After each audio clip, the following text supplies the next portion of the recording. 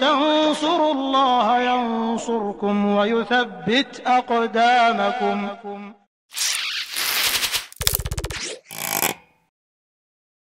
Oleh karena itu Nabi Nabi kita Sulaiman bin Daud alaihi wassalam adalah raja yang adil.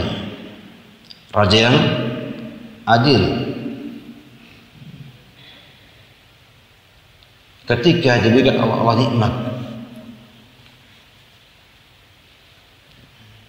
dipindahkannya sehingga sana Ratu Saba.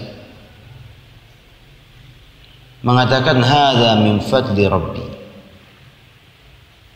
Ini adalah anugerah Allah semata dan tidak pernah Nabi Sulaiman menyandarkannya kepada diri dia. Mengatakan hadza min fadli rabbi dan berhenti tidak mengatakan kemudian usaha saya, kemudian kemampuan saya, kemudian karena ilmu yang saya miliki tidak sama sekali. Mengatakan hadza min fadli rabbi. Maka dia menjadi hamba Allah yang adil dalam merintah umat ini, dalam menghukum umatnya.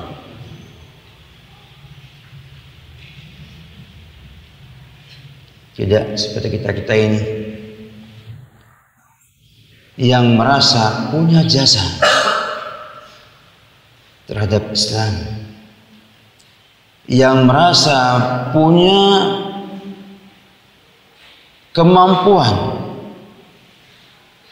Kemudian menyandarkannya kepada diri kita.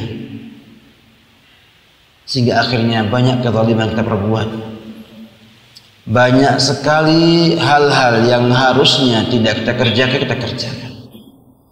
Bahkan kadang-kadang al-iz tersebut membawa kita bermaksiat kepada Allah Subhanahu wa taala. Membuat kita berbuat dosa kepada Allah Subhanahu wa taala. Allah katakan atakum min kulli ma sa'altum Wahai manusia, sesungguhnya apa yang kalian miliki, yang kalian pakai, yang kalian gunakan, itu semuanya adalah semata pemberian Allah Subhanahu wa taala. Tidak ada lain.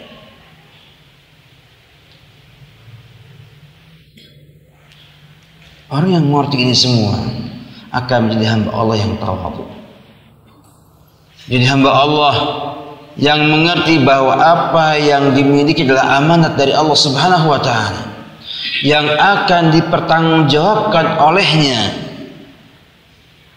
yang harus ia tanggung itu nanti di hari kiamat nanti